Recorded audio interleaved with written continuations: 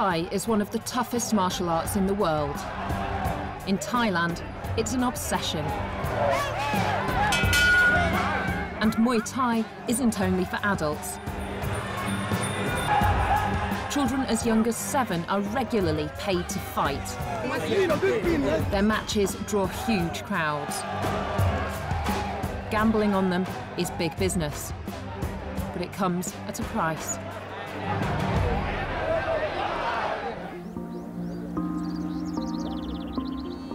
This is Muay Thai country. Isan, in the northeast, produces more champions than anywhere else. It's also the poorest region in Thailand. Down this unlikely dirt road is one of the most highly regarded boxing camps in this area, and I'm going to go and meet some of the young fighters who train here. 11 year old Nat Tanarak is one of the best child boxers in the region. So you obviously love Muay Thai. Why? Nat plans on fighting all the way to boxing stardom in Bangkok. What would you do with all the money you earned?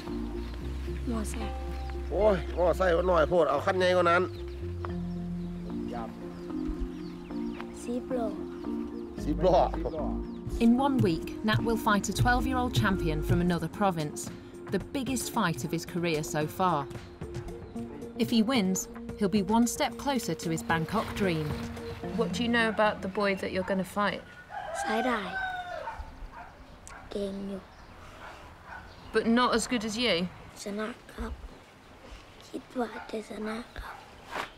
Nat's father, Wachara, has come to rely on his son's earnings. He's involved in every aspect of his training. For the coming match, Nat needs to weigh in at 25 kilos. He and his opponent are fighting in the paperweight division. Nat is too heavy. ไฟท์ที่เขาบอกว่าเป็นไฟท์ที่สำคัญที่สุด ต้องลดมาอีก 3 กิโล ถึงจะโชคได้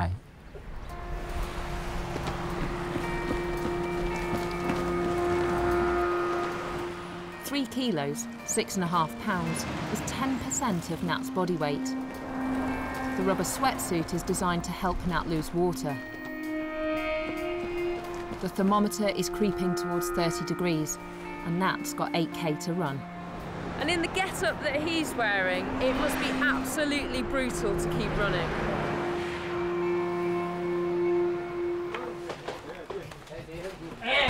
Nat trains seven days a week, four hours a day, before and after school. Because of the big fight, it's even more intense than normal. He looks absolutely knackered.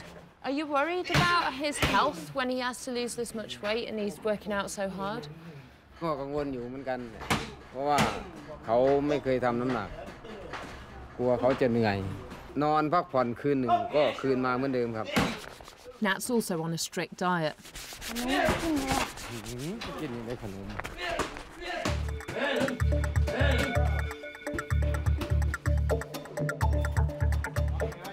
will get a fee to take the upcoming fight, but his chance of earning big money comes from gambling. His whole village will club together to bet directly against the other side. If Nat wins, he'll get a cut. Do you know how much money's riding on this fight?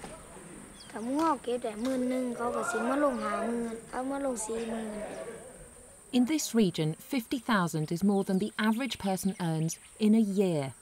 Nat's friends and family will be betting money they can't afford to lose. That's why he's training so hard. So it's worth it for the money.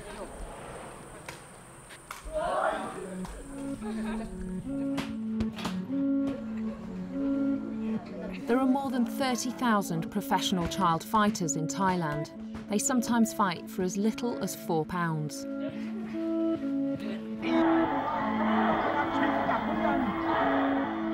Every Sunday, millions of families are glued to their TVs, watching their favourite champions clash. Ten. Oh. Nat bought his family this TV with the cash he's earned from boxing. The rest has gone on school books, clothes, and food. Nat's mother works as a nanny in Bangkok She sends money home, but it's not much. Nat's dad doesn't have a job. Many parents in this region have to leave their families to find work elsewhere. มันก็อยากมันก็จะขัดสนอยู่เหมือนกัน บางทีเราหมุนไม่ทันก็ขัดสนเหมือนกัน เราก็ต้องยืมเขา Nat earns more if he wins a fight than his mum can send home in a month. What would happen if Nat said he didn't want to box anymore? ก็ผมก็จะไปทำงานกับแม่เด็ก ไปรับจ้างทำงานที่กรุงเทพตังค์ก็ฝากมาให้ลูกอยู่ทั้งบ้านเหมือนกัน So if he stopped boxing, he'd basically lose his dad. ก็ And have you ever got a sense that he kind of realises that it's down to him to, to help look after the family? บางทีเขาก็รู้บางทีเขาก็ไม่รู้ เพราะว่าเขายังเด็กอยู่ เขาห่วงเล่นเขาคิดถึงเพื่อน I want to see just what Nat will be facing. Children in Thailand are allowed to fight professionally as long as they've got their parents' permission. The law says that they should wear protective gear, but this is widely disregarded. Fights are held every night of the week, so I head to a nearby village to watch Muay Thai. this is where all eyes are going to be focused. There, right there on the boxing ring. There's going to be 22 battles, and they're expecting a crowd of thousands. First up are two eight-year-olds in the 20 kilo category. In Seedham versus JJ.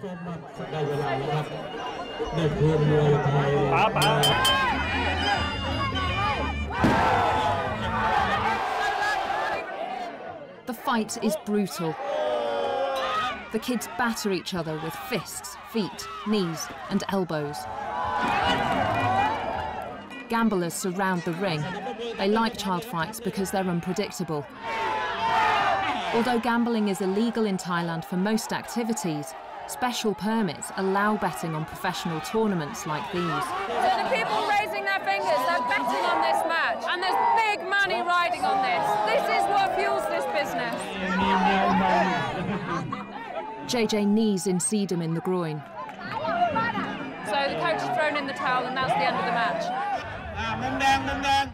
Both fighters pick up their fees and gamblers settle their bets. How much money did you make? It's the turn of two 13-year-old boys. Farmai versus Ying Mi Chai.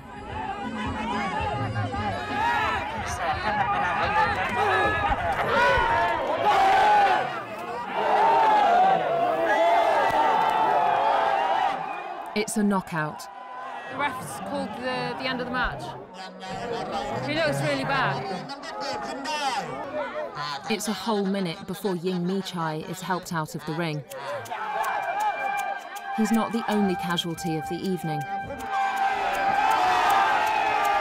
As the night wears on, I see several other children badly injured.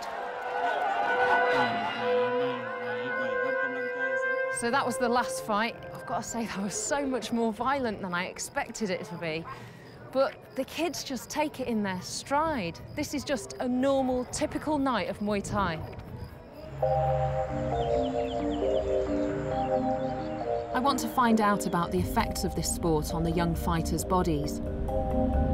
It's something being investigated in the capital, Bangkok.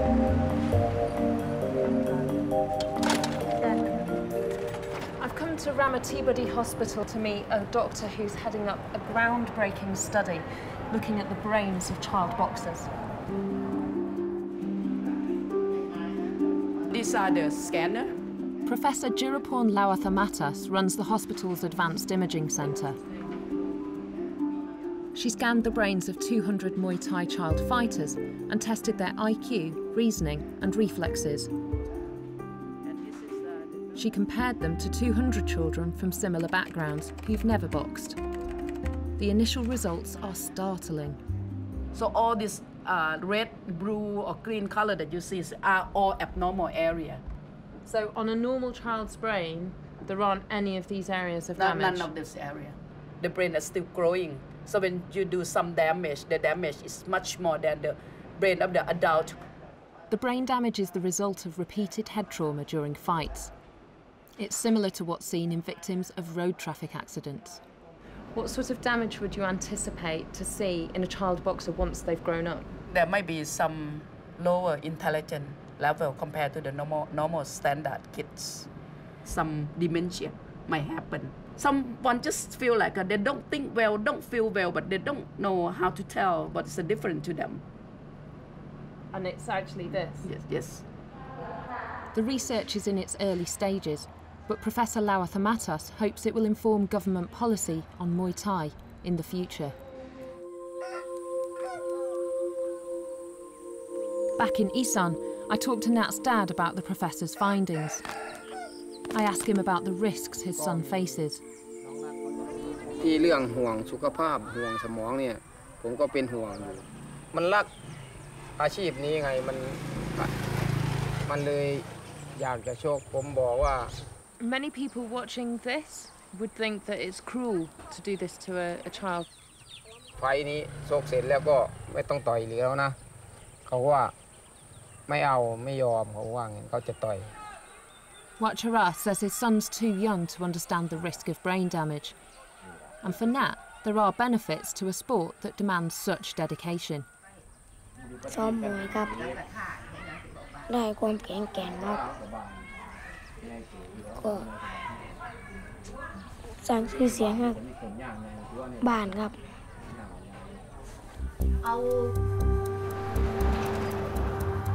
The big fight is tomorrow. Nat and his father head to their local health clinic. They're going to check Nat's progress in losing weight. 28กิโล Nat is still three kilos above target. ต้องกลับไปใส่เสื้อท If Nat can't make it, the fight could be cancelled. So everyone's looking really upset and demoralised. He's supposed to be 25 by the weigh-in, which is 7 a.m. tomorrow. And from the looks on their faces, they're not quite sure how they're going to achieve that either.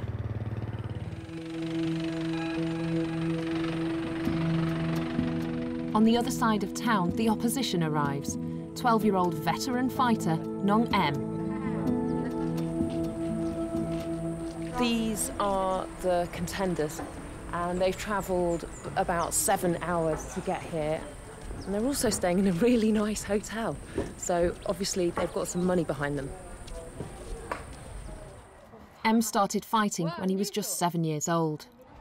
ตอนแรกก็อายเหมือนกันครับ ตอนแรกชกชนะน็อกเขาครับ His parents run a successful market stall, and although M's boxing money helps, it's only part of the family income. สายเลือดชอบมวยทุกคนครับ Just like Nat, M's whole village have banded together to gamble 50,000 baht on him.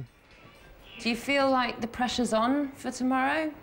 มีมากครับ มีความมั่นใจมากครับ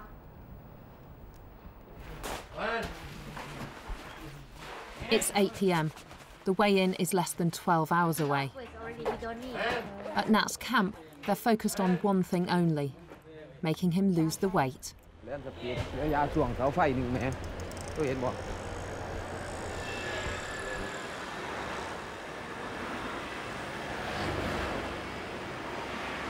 This seems pretty ridiculous. He's running along the side of a highway in the dark wearing a sweatsuit, and you can see on his face that he's not enjoying it.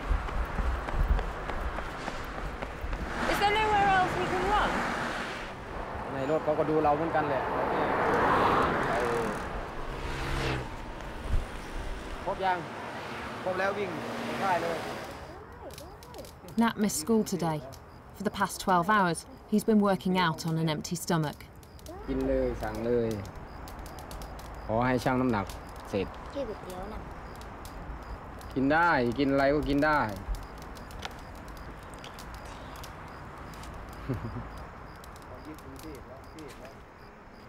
I catch up with Nat before he goes to bed.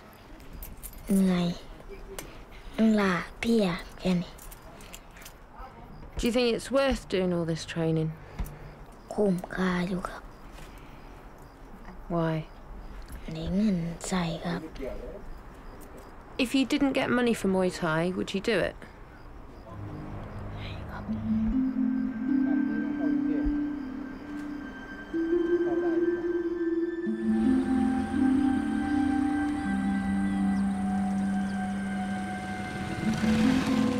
day of the fight. Nat's arranged to meet his sponsor at this petrol station.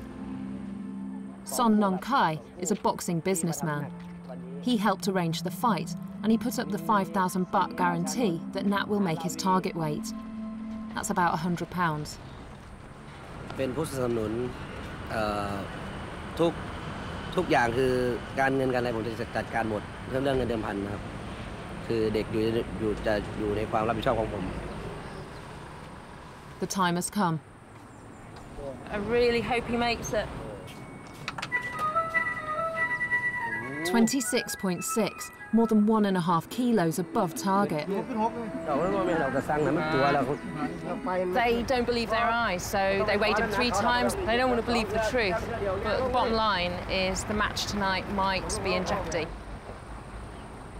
But Nat's sponsor Son isn't ready to give up on his investment. คนเมืองศรีครับ After 20 years in boxing, he knows all the weight loss tricks. อบอบนั่งอบในรถไม่ต้องวิ่ง คือข้างในมันจะมีไอร้อนอยู่ข้างใน Where I come from, you wouldn't be allowed to do this. ศรีสะเกดบุรีรัมย์ทำได้ Nat's father is starting to get worried. And as the minutes drag on, Son's methods get riskier.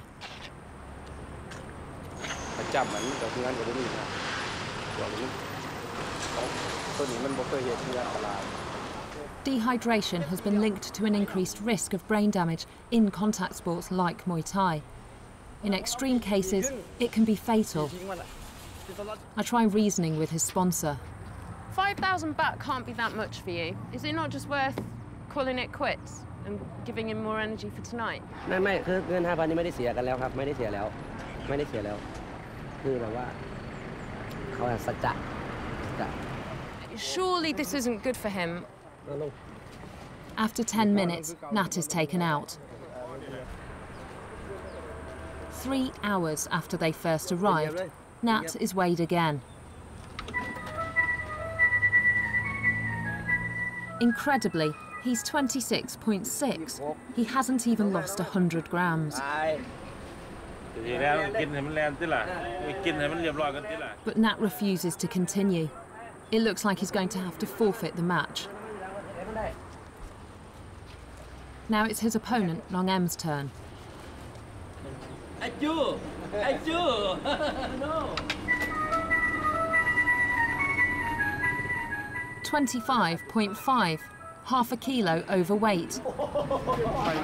to everybody's surprise, he's also failed.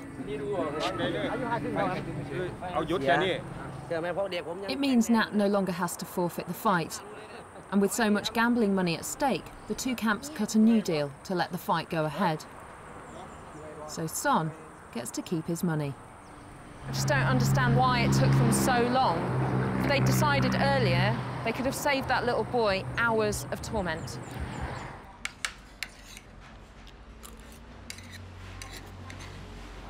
It's a relief to see Nat eat and drink at last.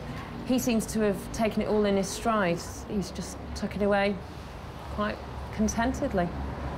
Hopefully it'll give him the energy he needs for tonight. How's it taste?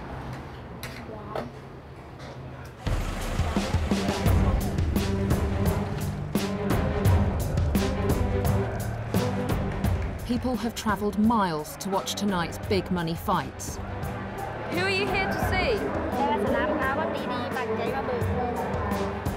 As the kids are oiled, massaged, and prepared for the bout, the adults around them tend to the business side. Every couple of minutes, a relative or a friend from the village comes up here to where Nat and his dad are, are waiting, and suddenly there's a massive wad of money in Nat's dad's hands. Soon, both sides bring the cash to the table. The winning side will take everything honour, glory, and 100,000 baht.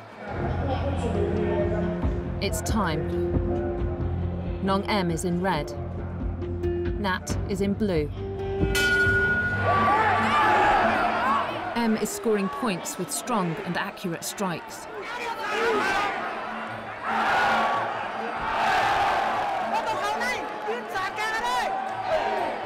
Nong Em knees hard into Nat's gut, one of the most powerful and painful strikes in Muay Thai. There's only one more round to go. The match is really close. It's going to come down to points. No one knows who's going to win. M is ahead by two points. If Nat comes back strong, he could still win it. Nat suddenly looks very powerful. One minute to go. Nat scores with a good kick. And it's over. The judges submit their scores. And they declare the winner. Nat has lost.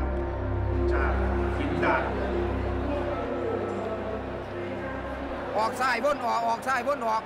Move that did really well.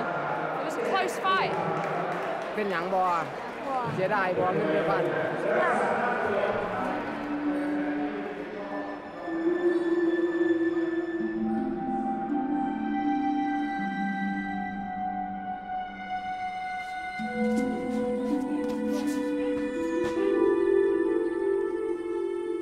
I arrange to meet Nat's sponsor, Son, the next day. I want to know if he feels responsible for Nat losing.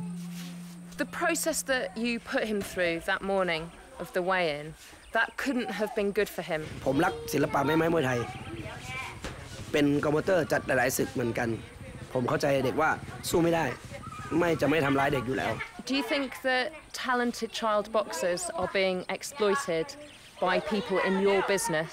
ตัวเงินตัวนี้คืออา คิดว่ามันเป็นเงินอ่อเป็นส่งเสริมเป็นกีฬามวยไทยมากกว่าครับ คืออทุนการศึกษาของเด็กดีกว่าครับ มวยทุกวันนี้ครับ ไม่มีดิมพันเขาไม่พันมือชกนะครับ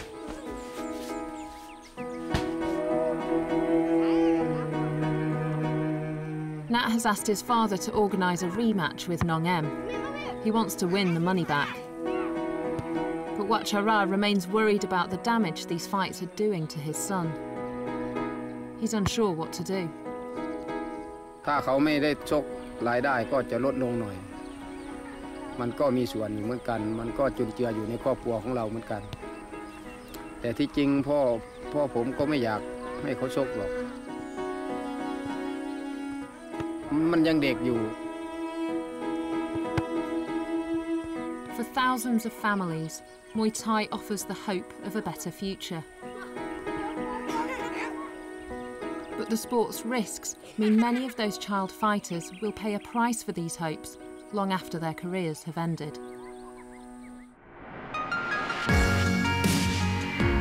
Thanks for watching this classic Unreported World episode. Click the logo to subscribe for more award winning documentaries from the Unreported World team. We upload videos every Wednesday and Sunday, keeping you up to date with content from all over the world.